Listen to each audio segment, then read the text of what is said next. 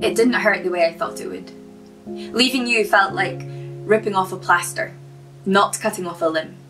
The night I changed the locks, my best friend held my hand. She stroked my hair and poured champagne into a pink glass while you banged on the door and screamed about all the ways that I would not survive without you.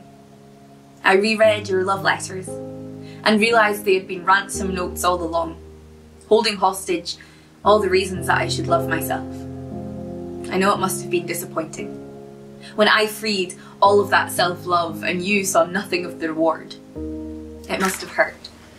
To have converted me into worshipping you only to have me burn down your church, I set fire to everything that you built and did not even let you in to feel the warmth. The bed that we shared is not a shrine for you or a grave for me.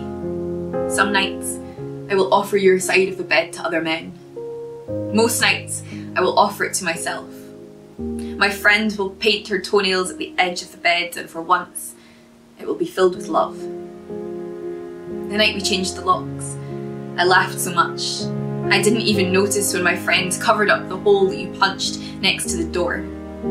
We ordered all the Chinese food that you would never buy me in fear that I would get too fat for the dresses you chose for me. She helped me tear up the carpet.